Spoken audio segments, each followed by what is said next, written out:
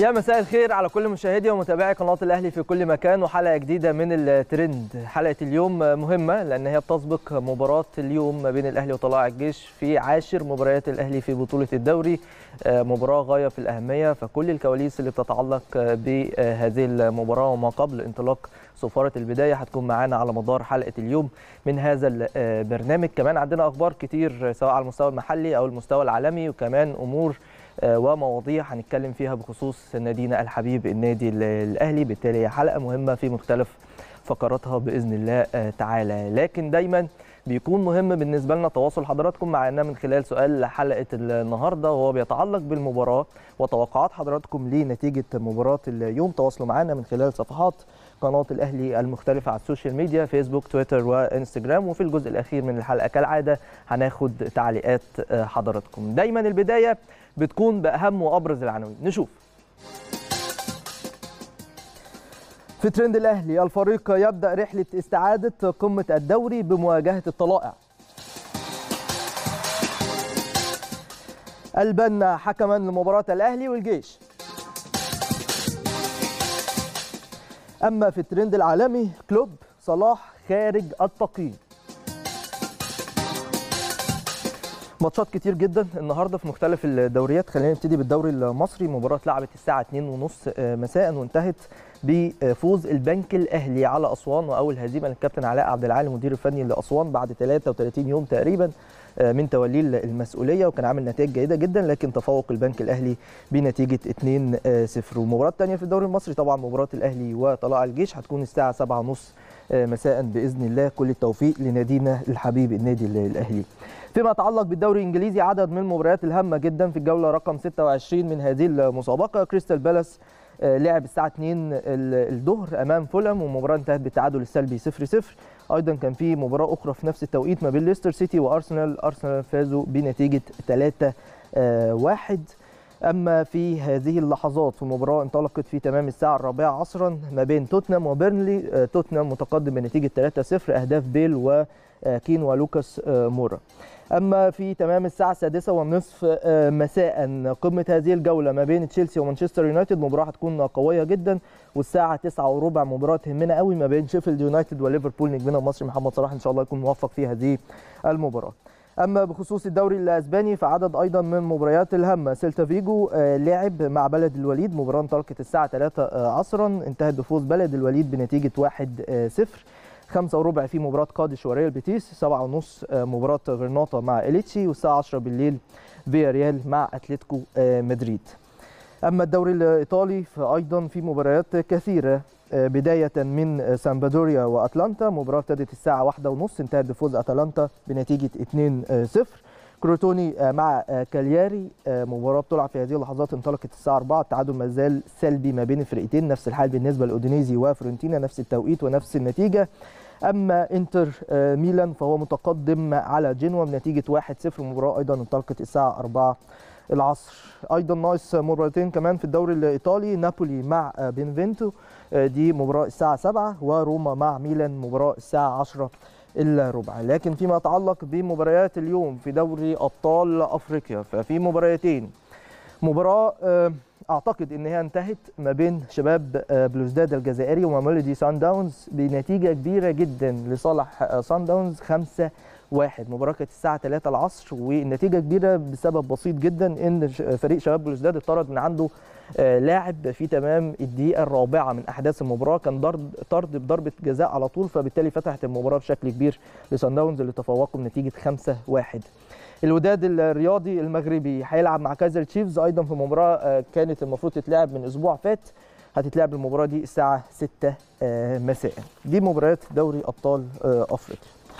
طيب لكن لسه التفاصيل وأبرز الأحداث اللي بتتعلق بكواليس أخيرة خاصة بفريقنا النادي الأهلي قبل مباراة اليوم كلها هتكون معانا بعد الفاصل استنوا. طبعا مباراة الأهلي والجيش النهارده مباراة غاية في الأهمية ومليئة بالتحديات ومهمة بالتحديد بالنسبة للنادي الأهلي في مشواره نحو السعي للوصول لقمة الدوري وهو الفرصة بالنسبة له سانحه جدا لو فاز في مبارياته المؤجلة. بالتالي إن شاء الله الأهلي يكون موفق في هذه المباراة. عندي حديث كتير جدا بخصوص مباراة اليوم بس أنا عايز في البداية أطمن حضراتكم على آخر استعدادات وكواليس فرقة النادي الأهلي في مقر الإقامة قبل التحرك لملعب المباراة سريعا من خلال زميلنا العزيز كريم أحمد مراسل قناه الأهلي المتواجد في مقر إقامة النادي الأهلي. يا كريم مساء الخير. مساء الخير عليك زميلي العزيز أمير هشام برحب بيك في البداية وكل التحية لكل جمهور النادي الأهلي. أهلا بيك يا كريم منورنا. عايزين نطمن من خلالك على كل الكواليس اللي بتتعلق بفريق النادي الأهلي قبل ساعات قليلة من انطلاق مباراة اليوم الهامة جدا أمام طلائع الجيش. اتفضل. يمكن باكد على كلامك يا امير تحدي جديد النهارده لفريق النادي الأهلي وعودة من جديد لبطولة الدوري العام مباراه المحلية. النهارده مباراة صعبة على كلا الفريقين سواء على النادي الأهلي ونادي طلائع الجيش. يمكن النادي الأهلي تعثره في المباراة الأخيرة. النهارده بنتمنى تكون الدوافع متجددة والرغبة قوية جدا للاعيبه النادي الأهلي والتركيز يكون كبير سواء للاعيبه النادي الأهلي وأيضا كمان للجهاز الفني بقيادة بيتسو موسيماني اللي أدى تدريبين مميزين جدا. شفنا الروح وشفنا الأداء وشفنا الجدية الحقيقة. تحديدا كمان في المران الأخير اللي كان على ملعب مختار التتش. أنت عارف يا أمير طبعا بنأكد في كل مرة الفصل فصل مهم جدا طبعا. ودي اللي بتميز النادي الأهلي وبتميز جهازه إن لابد يكون في فصل تام م. للبطولة الأفريقية مؤقتا ثم الدخول بدوافع جديدة لبطولة الدوري العام يمكن جديد كالعادة طبعا يا أمير في فندق الإقامة اليوم الاعتيادي لفريق النادي الأهلي سواء وجبة فطار أو وجبة غداء لكن المحاضرة الفنية الأخيرة اللي كانت في تمام الساعة الرابعة 20 دقيقة كانت محاضرة بيتسو موسيماني في فندق الإقامة م. الراجل اتكلم باستفاضة بشكل كبير جدا خلال ال 48 ساعة الماضيين سواء يوم الجمعة اللي كان تدريب أول ويوم السبت الراجل محاضرة ساعة وثلث ومحاضرة ثاني 50 دقيقة فيمكن محاضراته مطولة لكن 20 دقيقة كانت كافية النهارده لوضع الرتوش الأخيرة. وأيضا كمان اختيار التشكيل والتكتيك اللي هيقوم بيه النهارده لعيبة النادي الأهلي في مباراة اليوم طلائع الجيش والأهلي أو الأهلي وطلائع الجيش على استاد الأهلي والسلام في تمام السابعة والنصف. كل الأمور الحمد لله ماشية بشكل طيب لفريق النادي الأهلي. بنشوف تجمعات اللعيبة أمير بعد كل وجبة غداء أو أيضا كمان الفطار. اللعيبة عارفة أهمية المرحلة اللي جاية ويمكن كمان زي ما أكدنا وقلنا أكتر من مرة جمهور النادي الأهلي وأعضائه لا تتوقف الطموح ابدا عن بطولة واثنين وثلاثه لا عايزين كل سنة نحقق كل البطولات. فده عبء كبير جدا على لعيبة النادي الأهلي لكن بنأكد في كل مرة ثقتنا كبيرة في كل اللعيبة. عارفين إن إن شاء الله النهارده تكون مباراة جيدة وقوية لكن يا رب يكون دخولنا جيد. بيتسو موسيماني يكون موفق النهارده كمان في اختيار التشكيل الجمل التكتيكية اللي حفظها الجهاز الفني بقيادة بيتسو موسيماني مع كابتن سامي قمصان نفذها لعيبة النادي النهارده. ومردود كمان الحماس اللي شايفينه مع لعيبة النادي الأهلي وجلساتهم يا رب إن شاء الله يكلل بالنجاح ويساعدنا النهارده فريق النادي الأهلي في ثلاث نقاط يكونوا مهمين كالعادة في وصوله للمركز الثاني مؤقتا والاستعادة من جديد كعادة النادي الأهلي لاستعاده لقب ببطولة الدوري العام وتصدر جدول الدوري. خمسة ونص مباشرة يا أمير هنتوجه من هنا على طول مباشرة إلى استاد الأهلي والسلام. لسه حتى هذه اللحظة خلاص نقدر نقول هتتوافد لعيبة النادي الأهلي على الحافلات المتواجدة طبعا أمام فندق الإقامة القريب جدا من استاد الأهلي والسلام. لكن يا رب إن شاء الله بإذن الله يكون يوم موفق للاعبين وأيضا كمان موفق لطاقم التحكيم وكل اليوم يكون سعيد جدا على جمهور النادي الأهلي. أنا معاك يا أمير برضه لو في استفسارات طيب بالتحديد يا كريم عايز أتكلم على عودة بعض اللاعبين في قائمة النادي الأهلي ويمكن أهمهم طاهر محمد طاهر عودته من إصابة عودة كمان حسين الشحات في المباراة. حسين كان غايب الفترة اللي فاتت مثلا عن المباريات الأفريقية بسبب الإيقاف لكن في كل الأحوال اثنين لعيبة مهمين جدا. هل من الممكن أو من الوارد إن إحنا نشوف الاثنين في التشكيل الأساسي من بداية المباراة ولا لسه الأمور مش متضحة بالنسبة لتشكيل النادي الأهلي؟ هل هيبقى في تعديلات برضو يا كريم زي ما سمعنا في التشكيل ولا لأ؟ طمن. بالتأكيد طبعا زميلي أمير نقطة مهمة جدا وهي يمكن زي ما بيغيب عندنا بعض اللاعبين لكن بيقعد لنا الحمد لله يمكن طاهر محمد طاهر يمكن يعني ظهر بشكل طيب ومميز جدا في التدريب الأخير بجانب حسين الشحات. يمكن حسين ما كانش عنده إصابة أنت عارف كان عنده إيقاف في المباراة الأخيرة لكن اثنين قوة ضربة كبيرة جدا ولاعبين مميزين ولو فايقين كمان يا أمير في المباراة هيكون ليهم دور كبير جدا. من الواضح ومن اللي إحنا بنشوفه هيكون ليهم دور النهارده إن شاء الله في التشكيل الرسمي لفريق النادي الأهلي لكن ممكن نشوف الأدوار مختلفة لبعض اللاعبين. أنت عارف طبعا ما بنحبش إن إحنا نتكلم على التشكيل أو نقدر نقول الاقرب إيه وكده على قد ما إحنا بنتكلم ان النهارده ممكن يكون في ادوار جديده ممكن نشوف في تكتيك جديد. النهارده كمان هيبقى أكيد يعني اللي إحنا شايفينه من خلال متابعتنا للتدريبات الثلث الامامي هيكون في ضغط كبير جدا الاطراف هيكون ليها شغل. في بعض التريكات كده يمكن شفناها في التدريب الاخير لبيتسو موسيماني. يا رب ان شاء الله لعيبتنا النهارده تنفذ التعليمات على اكمل وجه لأن يمكن اللي إحنا شفناه لو اتطبق بشكل مميز جدا زي ما شفناه في التدريب هيفرق مع النادي الاهلي ونقدر نحرز هدف واثنين وثلاثة. لكن أهم من كل ده أمير هي روح النادي الأهلي وشخصية البطل اللي بنأكد عليها كل مرة. طبعا. لو في روح وفي جدية وفي حماس إن شاء الله. ربنا هيكرم اللعيبة لأن الكل بيجتهد المجلس الاداره بيجتهد بيجتمع بالجهاز الفني باللاعبين بلجنة التخطيط الجهاز الفني بيجتمع باللعيبة اللعيبة بتجتمع مع بعضها. لكن لو غاب التوفيق الأمر بيكون صعب شوية لكن النهارده إن شاء الله بإذن الله يكون التوفيق معانا ولاعبتنا تكون في قمة تركيزها ويقدر النادي الأهلي كعادته إن شاء الله يكون مصدر السعادة لكل جمهور النادي الأهلي. طيب كريم دايما بعد أي هزيمة للنادي الأهلي وده أمر بيبقى نادر في الحقيقة بيبقى في بشكل طبيعي وتلقائي بعض الضغوط الكبيرة سواء على الجهاز الفني أو على لاعبي الفريق. إزاي بيتم التعامل مع الضغوط دي من خلال متابعتك بشكل قريب جدا من الجهاز الفني واللاعبين؟ بيتعاملوا إزاي مع المرحلة دي تحديدا وبالتحديد كمان بعد الهزيمة الأخيرة أمام سيمبا تنزانيا؟ ولازم نأكد برضو يا كريم إن ده أمر وارد في كرة القدم. أنت مش بتلعب لوحدك بتلعب في منافسات مختلفة كلها غاية في الصعوبة يعني. بالتأكيد طبعا يعني الضغط موجود أكيد في كل البطولات وقدر لعيبة النادي الأهلي لازم يواجه أي ضغط وأي انتقاد بالملعب وبالروح اللي في الملعب وبالنتائج وبالاداء المميز جدا. كويس. أكيد في ضغط على لعيبة النادي الأهلي لأن المرحلة صعبة والتحديات كبيرة جدا الفترة اللي جاية. عندنا تلاحم كبير في المباريات عندنا مباراه بطولة الدوري العام. إحنا لسه يمكن عندنا أكتر من مباراة مؤجلة هنعود صح. من جديد لمباراه فيتا اللي ليها حسابات خاصة كبيرة جدا مع الجهاز الفني واللاعبين وجمهور النادي الأهلي. لكن الضغط موجود لكن اللي بنراهن عليه على طول هو شخصية لاعبي النادي الأهلي إن إحنا إزاي نقدر نطلع من الضغط ده؟ وده الدور الكبير اللي بيقوم بيه الجهاز الفني بيقوم بيه كابتن محمود الخطيب بكلمات بسيطة باجتماعات بسيطة لكن رسالتها بتكون ليها هدف كبير جدا ومردودها. إن شاء الله بنتمنى يكون متواجد النهارده ومتواجد خلال البطولة الأفريقية. عندنا ثقة كبيرة في كل اللعيبة في بطولة الدوري العام أو في البطولة الأفريقية لكن زي ما معودنا لعيبة النادي الأهلي ومعودنا الجهاز الفني صفحة بنقفلها بنبدأ في اللي بعديها. يا رب إن شاء الله بإذن الله النهارده تكون انطلاقة لعيبة النادي الأهلي في مباراة طلائع الجيش. بروفها هتكون مهمة جدا هنطمن على المعنويات هنطمن على الدوافع هنطمن على رغبة اللعيبة إن شاء الله قبل المباراة الهامة جدا وهي مباراة فيتا كلاب بطل الكونغو. طيب أه هسألك سؤال يا كريم خارج مباراة النهارده تحديدا بس هو بيهم جمهور النادي الأهلي وبيتعلق بأحد أبرز اللاعبين وبالتحديد علي معلول والكلام عليه كتير يعني بخصوص ال 24 ساعة اللي فاتوا بخصوص هل يقدر علي معلول يلحق مباراة فيتا كلوب ولا الأمور بالنسبة له هتبقى صعبة من خلال متابعتك أنت وقربك من الأحداث وتدريبات النادي الأهلي كما هو المعتاد في الحقيقة وبتغطي كل الأمور بشكل مميز. مدى فرص أو مدى إمكانية لحاق علي معلول بمباراة فيتا كلوب بإذن الله؟ علي معلول طبعا واحد من العناصر المميزة جدا كنا بنتمنى هو يكون متواجد معانا لكن يعني الإصابة يا رب إن شاء الله يكون بإذن الله ما تطولش معاه لكن من خلال المتابعة ومن خلال أسئلتنا للجهاز الطبي مع طبيب النادي الأهلي أحمد أبو عبلة يعني نسبة لحاق علي معلول بمباراة فيتا صعبة شوية يا أمير. يعني طبعا. يعني إحنا يمكن لعبنا كورة وعارفين الأمر عامل إزاي ما فيش مخاطرة هتكون مع علي معلول في هذا الأمر لأن العضلة الخلفية أنت عارف محتاجة تأني بشكل كبير جدا ومحتاجة يكون في تدرج كمان في التدريبات الجماعية. علي ما شاركش في التدريبات الجماعية نهائيا يمكن آه لسه مباراة فيتا لسه امامها وقت شوية لكن يعني هيبقى صعب شوية الامر على علي معلول إن هو يكون متواجد. لكن بنتمنى حتى لو وجوده يا أمير على دكة البدلاء هيبقى دافع وحافز كبير جدا لكل اللعيبة بقيمته الكبيرة وخبرته الكبيرة. بالظبط. لكن فنيا إن هو يكون متواجد يعني أمر هيكون صعب شوية لكن بنتمنى علي إن شاء الله بإذن الله يكون متواجد. هو ماشي في البرنامج الحقيقة بشكل مميز عنده إصرار كبير إن هو يعود مع النادي الأهلي. لكن التأني مطلوب جدا أمير في حالة زي علي معلول لأنها هتحتاجه الفترة اللي جاية بشكل كبير طبعا. جدا. وما نبعدش طبعا عن محمود وحيد اللي بيقوم بدور كبير طبعا. جدا جاي طبعا. من بعيد جدا. محمود وحيد بيأدي أداء مميز جدا. بنتمنى له كمان النهارده كل التوفيق يكون متواجد ويؤدي أداء مميز. هي دي اللي الروح وهي دي لعيبة النادي الأهلي اللي متواجد. ما عندناش أساسي ما عندناش احتياطي. علي متواجد محمود متواجد. ده اللي بنراهن عليه. لكن يا رب إن شاء الله علي معلول معشوق جماهير النادي الأهلي يعود سريعا ويشارك مع النادي الأهلي سواء في البطولة المحلية وأيضا كمان في البطولة الأفريقية. بإذن الله كريم أنا بشكرك شكرا جزيلا على هذا المجهود الوافر وهذه الأخبار الهامة جدا. زميلنا العزيز كريم أحمد مراسل قناة الأهلي كان معانا من مقر إقامة الفريق قبل التحرك بدقائق قليلة لإستاد الأهلي والسلام. استعدادا لمباراة اليوم اللي هتكون في تمام الساعة 7:30 مساء أمام فريق طلائع الجيش. هذه المباراة الهامة والصعبة بكل تأكيد. سؤالنا على علي معلول.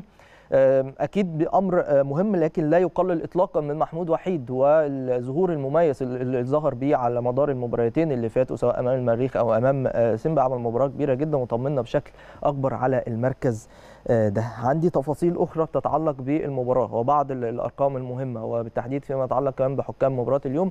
هروح بس الفاصل الأول وبعد الفاصل نرجع نتكلم في كل هذه الأمور. استنوا طيب الحديث عن مباراة اليوم لم ينتهي. ده طبعا بسبب أهمية هذه المباراة بالنسبة للنادي الأهلي وصعوبة هذه المباراة أيضا بخصوص مواجهة فريق قوي زي فريق طلع الجيش بيضم قائمة مميزة جدا من اللاعبين. ممكن يكون حجم الأسماء الموجودة ما يدلش إطلاقا على المركز المتواجد فيه فريق طلع الجيش أو نتائجه على مدار الفترات اللي فاتت المختلفة. لكن تبقى مباريات الأهلي وطلع الجيش مباريات غاية في الصعوبة. عايز أتكلم مع حضراتكم عن حكام مباراة اليوم حكم الساحة الكابتن محمود البنا حكم مساعد هاني عبد الفتاح حكم مساعد رضا جبر وحكم رابع عباس حسن حكم فيديو وائل فرحان ومساعد حكم فيديو مصطفى عثمان. ده فيما يتعلق بحكام مباراة اليوم. نتمنى لهم يا رب كل التوفيق في إدارة هذه المباراة بشكل جيد. أما بخصوص قائمة النادي الأهلي أنا عايز أفكر حضراتكم بقائمة الفريق لمباراة اليوم واللي اختارها مستر بيتسو موسيماني بالأمس عقب انتهاء المران وبتشهد عودة بعض اللاعبين زي ما اتكلمنا لاعبين مهمين جدا وأيضا في غياب للبعض الآخر. في حراسة المرمى محمد الشناوي علي لطفي ومصطفى شوبير. زي ما حضراتكم شايفين كده على الشاشة في خط الدفاع ياسر إبراهيم بدر بنون محمد هاني أيمن أشرف سعد سمير محمود وحيد حمدي فتحي ده فيما يتعلق بخط الوسط حمدي فتحي وعمرو السولية اليو ديانج أكرم توفيق ومحمد مجدي قفشة وكهربا وطاهر محمد طاهر وجونيور أجاييه وحسين الشحات. أما بخصوص خط الهجوم فهم الثلاثي محمد شريف ومروان محسن ووالتر بواليا. دي قائمة النادي الأهلي. ننتظر طبعا التشكيل قبل انطلاق المباراة بحوالي ساعة. نعرف تشكيل النادي الأهلي الرسمي لمباراة اليوم. إن شاء الله الفريق يكون موفق والجهاز الفني يكون موفق في إدارة هذه المباراة. طيب تاريخ مواجهات الأهلي وطلائع الجيش الأرقام دي يعني يعني بتهوى أو بتبقى مهمة بالتحديد عند عدد كبير جدا من جماهير. هي طبعا ما بتبقاش مقياس قبل أي مباراة لكن تبقى أرقام مهمة وبتدي دوافع بشكل أو بآخر للمتفوق في هذه الأرقام. وفي الحقيقة النادي الأهلي هو المتفوق في مواجهاته المباشرة أمام فريق طلائع الجيش تحديدا في بطولة الدوري. الأهلي وطلائع لعبوا 27 مباراة. الأهلي فاز في 22 رقم كبير جدا ما شاء الله. اتعادلوا في خمسة وطلع الجيش ما فازش على الأهلي في ولا مباراة في بطولة الدوري. الأهلي قدر إن هو يحرز ويهز شباك فريق الطلائع ب 58 هدف عدد كويس برضو من الأهداف واستقبل في المقابل 12 هدف فقط من فريق طلائع الجيش. ترتيب الفرقتين في جدول الدوري قبل انطلاق مباراة اليوم الأهلي في المركز الرابع وده بسبب إن الأهلي ليه بعض المباريات المؤجلة. الزمالك هو المتصدر بس الزمالك لعب ثلاث مباريات زيادة عن النادي الأهلي. في المقابل طلائع الجيش في المركز ال 14 عدد النقاط الأهلي 21 طلائع 12 الأهلي لعب تسع مباريات طلائع لعب 13 مباراة. الأهلي في التسع مباريات فاز في ست مباريات. في المقابل طلائع الجيش في ال 13 مباراة فاز في ثلاثة فقط. اتعادل الأهلي ثلاث مرات نفس العدد بالنسبة برضه لطلائع الجيش ثلاث مرات. الأهلي لم يخسر حتى الآن ما شاء الله.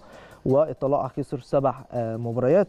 الأهلي في بطولة الدوري هذا الموسم في تسع مباريات ليه 19 هدف عدد مميز جدا. في المقابل طلائع الجيش ليه 14 هدف في 13 مباراة. الأهلي عليه أربع أهداف فقط والطلائع عليه 17 هدف هدافين الفرقتين. بالنسبة للنادي الأهلي محمود عبد المنعم كهربا أربع أهداف ومحمد شريف بنفس الرصيد. أما بخصوص طلائع الجيش فهو أحمد سمير ست أهداف وأعتقد هو أحد هدافين المسابقه هذا الموسم حتى الآن. عايز أفكر حضراتكم كمان بمباريات الأهلي المؤجلة في بطولة الدوري. الأهلي يوم 10 مارس عنده الإسماعيلي هي مباراة خاصة بفريق الإسماعيلي. الأهلي هو اللي هيكون الضيف على الإسماعيلي في الجولة رقم 12 يوم 18 إبريل. الزمالك والأهلي في الجولة رقم أربعة. وهي مباراة نادي الزمالك مباراة مؤجلة من جولة رقم أربعة. ويوم 21 إبريل الأهلي وسموحة في الجولة 11 مؤجلة من جولة 11 و24 إبريل مباراة مؤجلة أخرى ما بين إنبي والأهلي في الجولة ال 13 دي بعض الأرقام وبعض الأمور الهامة جدا اللي من خلالها إن شاء الله الأهلي يقدر إن هو يستعيد ذاكرة الانتصارات بعد الهزيمة في المباراة الأخيرة أمام سيمبا في دوري أبطال إفريقيا. دي بطولة مختلفة.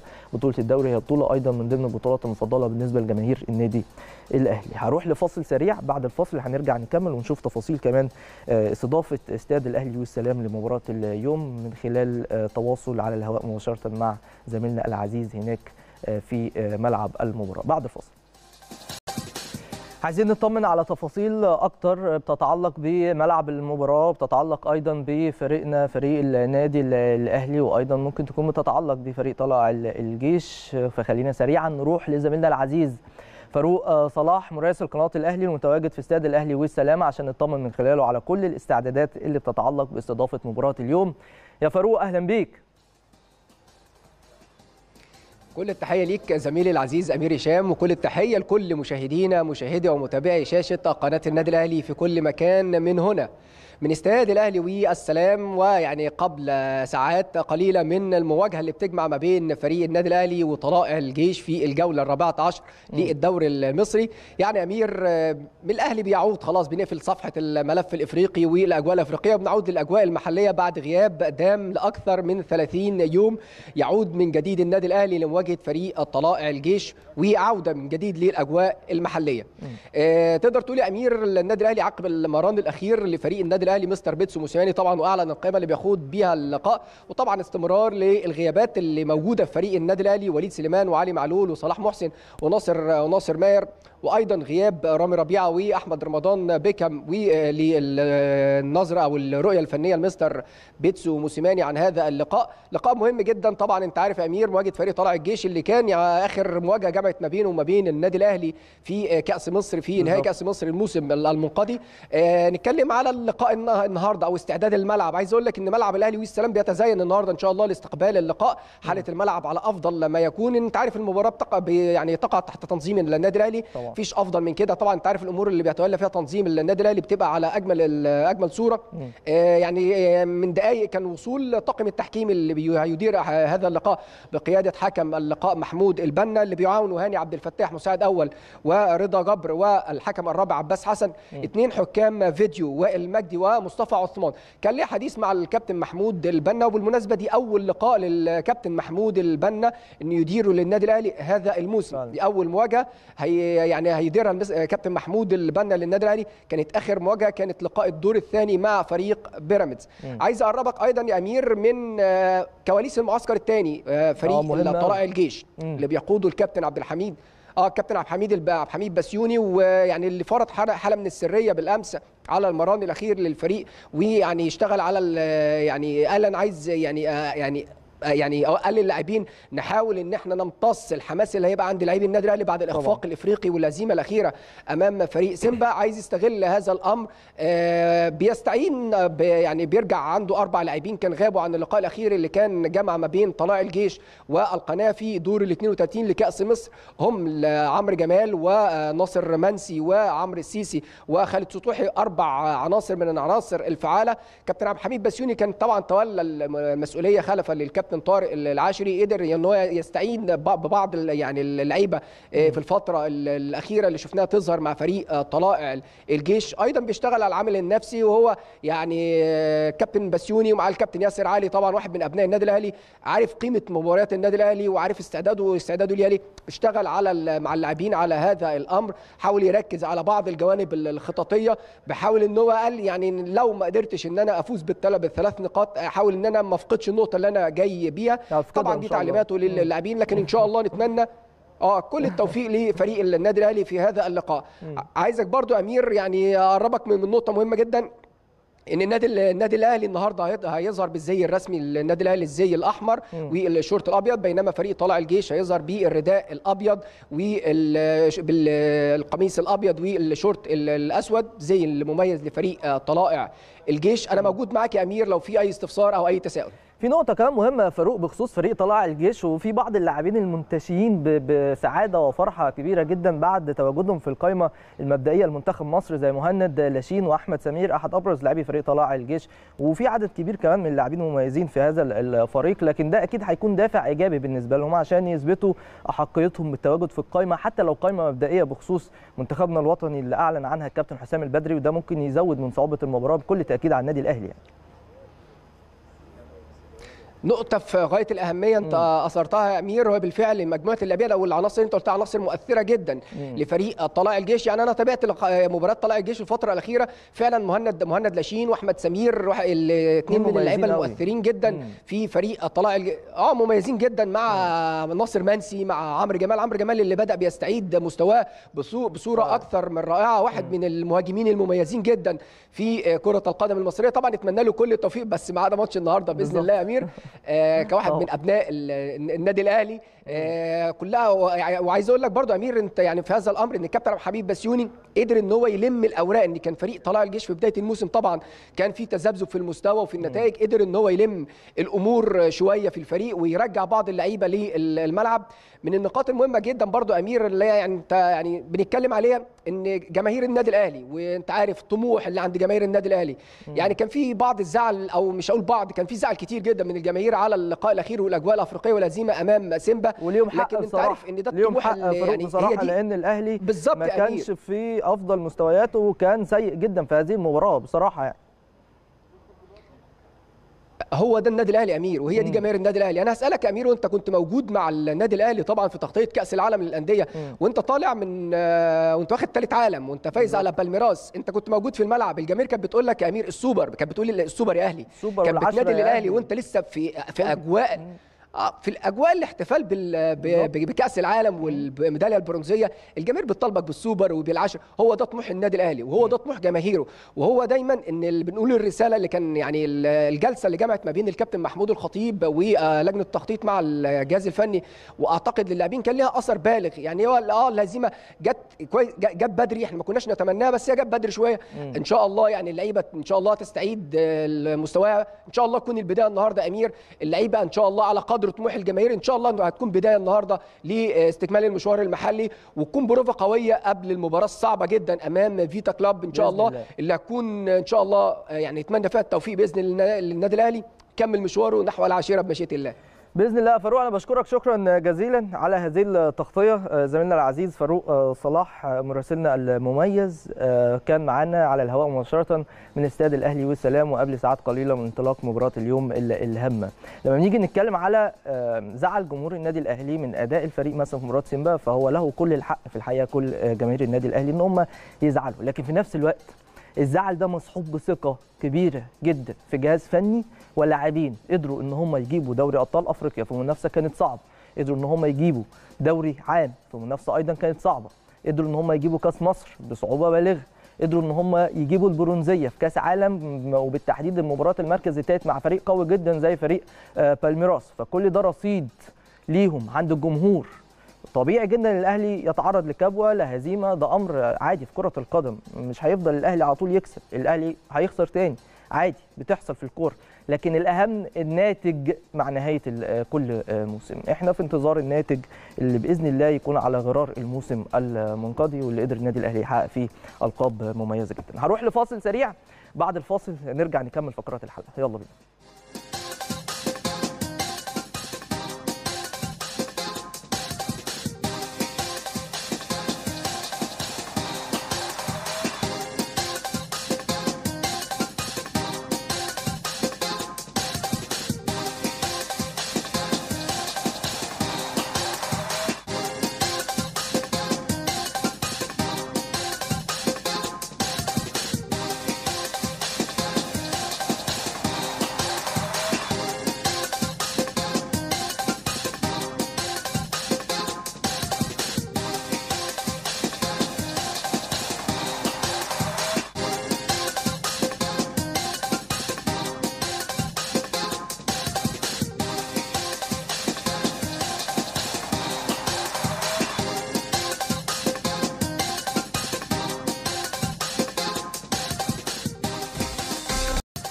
ترند الأهلي أكيد الحديث فيه آه، هيكون بشكل أكبر عن مباراة اليوم. نبتدي بالصفحة الرسمية لقناة النادي الأهلي واللي يعني حاطة design آه، لمباراة اليوم يوم المباراة بتواجد والتر بواليا مهاجم الفريق جنب ال- النسر والمهاجم ده في الحقيقة مميز محتاج ثقة بس وطبيعي لما انت تتنقل نقلة كبيرة تروح النادي الأهلي ف يعني بتبقى فيه خضة شوية. ان شاء الله مع توالي المباريات والتر بواليا يخش في منظومة النادي الأهلي ومنظومة الفرقة تحديدا عشان يتألق وناخد النتيجة المنتظرينها من هذا اللاعب المميز. يعني تنويه عن ميعاد المباراة مباراة الأهلي وطلائع الجيش في الدوري الممتاز 7:30 على استاد الأهلي والسلام. خلينا كمان نروح للتشكيل المتوقع وده من حساب الرسمي ليلا كور على فيسبوك وده مجرد تشكيل متوقع وبيقولوا محمد الشناوي في حراسه المرمى ياسر إبراهيم بدر بنون كاثنين مساكين ظهير أيسر محمود وحيد ظهير أيمن محمد هاني. في نص الملعب عمرو السولية والاختيار أو يعني بيتوقعوا واحد من اثنين أليو ديانج أو حمدي فتحي وده بديهي في الحقيقة. وقدامهم محمد مجدي قفشة ثلاثي خط الأمامي جونر اجاي حسين الشحات بيعود ومحمد شريف كعنصر أساسي. هنشوف بعد ساعات قليلة ممكن ساعة بس من دلوقتي نعرف تشكيل رسمي النادي الأهلي. لكن نفس الحال من خلال الحساب الرسمي اللي في الجول على تويتر وبيتوقعوا أيضا تشكيل النادي الأهلي لهذه المباراة. وبيقولوا عودة الشحات ضد طلائع الجيش وشريف يقود الهجوم. واضح إن في إجماع على إن محمد شريف هيكون متواجد بشكل أساسي في مباراة اليوم. لكن برضو الله أعلم هنشوف إيه اللي هيحصل. لكن هنا بيتوقعوا بيقولوا إن محمد شريف أو عفوا محمد الشناوي هيكون في حراسة المرمى. اثنين في خط الدفاع بدر بنون وياسر إبراهيم ظهير أيمن أيمن أشرف وظهير أو ظهير ايسر أيمن أشرف ظهير أيمن محمد هاني.